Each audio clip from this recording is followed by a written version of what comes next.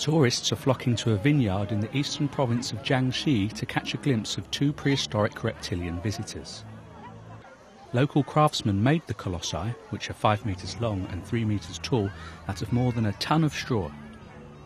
The two dinosaurs are joined by straw sculptures of the Monkey King, a bear, and a dog. Jiangxi is a major rice producing province. The sculptures were the brainchild of residents who are exploring new ways to make the most of straw after the summer harvest.